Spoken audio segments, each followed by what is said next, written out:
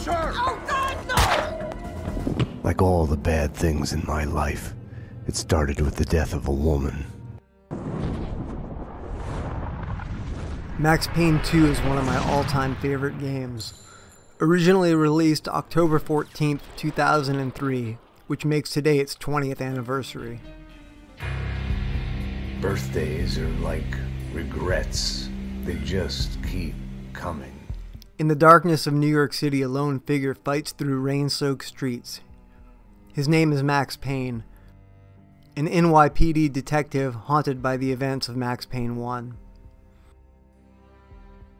Max Payne 2 won many industry awards including Outstanding Art Direction, Sound Design, and Editor's Choice from almost every major gaming publication of the era.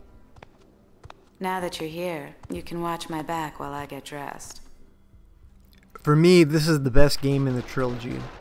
Max Payne 2 has greatly improved graphics, level design, and a smoother combat system than its predecessor. This is a highly refined and polished continuation of Max Payne 1. Max Payne 2 is a must play for anyone who has never played it, and it's a must replay if it's been a while since your last playthrough. Once again, the story is set against the backdrop of a corrupt and decaying New York City. Max is a man whose life has been shattered by the brutal murder of his wife and child. Taking place two years after the events of the first game, we find that Max was acquitted of charges against him for his actions, and reinstated as a detective in the NYPD.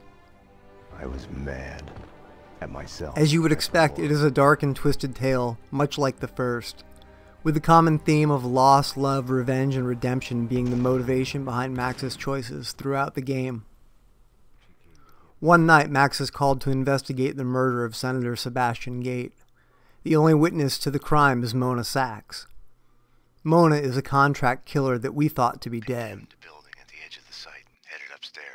I'm at the wrong end. Mona is arrested for the murder, but Max is convinced that she is not guilty and later helps her to escape Max. jail. You've got to get me out of here. As Max and Mona delve deeper into the mystery, they uncover a web of corruption and deceit from the seedy underworld of New York to the gleaming halls of corporate boardrooms. They also discover that the cleaners are but a small part of a much more sinister organization known as the Inner Circle. The Inner Circle is a cabal of powerful individuals who are manipulating the events of the city with a global agenda. As Max and Mona fight their way through New York, they must confront not only their enemy, but their own demons and come to terms with their past. That past. won't help a thing. The bullet in my head brought me to you. They must also learn to trust each other, as their only option is to work together if they want a chance of taking down the Inner Circle. Damn it. Here, let me. This way. One of the game's best features is that at several points in the game you get to play as Mona. On one level in particular, you play the same timeline from both Max and Mona's perspective.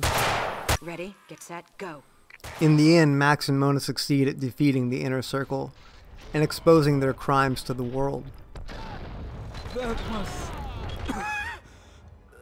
But the victory comes at a high cost. Max, dearest of all my friends. I was supposed to be the hero. Max is once again forced to confront the darkness inside himself. I want to sleep to forget, to change the past. My wife and baby girl back.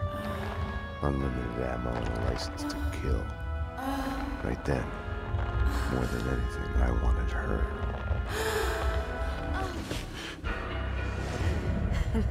Will Mona survive? Max. Or will the bullet lodged in Mona's head that was intended to kill her for refusing to take out Max put an early end to another woman that Max loves? You have to play to find out. Or Google it, but I highly recommend you play and experience the story firsthand. Max Payne 2 is a cautionary tale about the dangers of revenge and the corrupting influence of power. The story of a man who has lost everything but still finds the strength to fight for what he believes in. It is a game with a strong cult following and has resonated with gamers for 20 years and continues to be one of the most critically acclaimed video games of all time for a reason. She's one of them. The game's story can be seen as a metaphor for a descent into madness. She's here to kill me. Once again, we can watch episodes of Address Unknown in the in game TVs, which eerily mimic the events you are experiencing. Max. Sorry I woke you. Max's world is a dark and unforgiving place where the line between good and evil are often blurred. It's a secret. You must tell no one.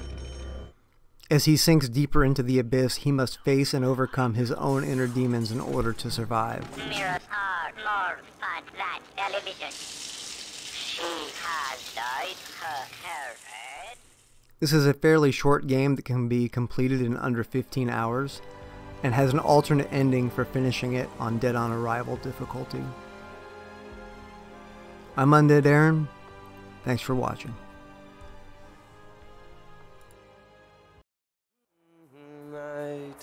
It's a late goodbye. Hey, hey! NYPD. I need the code to the seventh floor door. Sure, sure. I know it. I know it. Wait. Oh, yeah. 667. Neighbor of the beast. Get it? Yeah, I get it.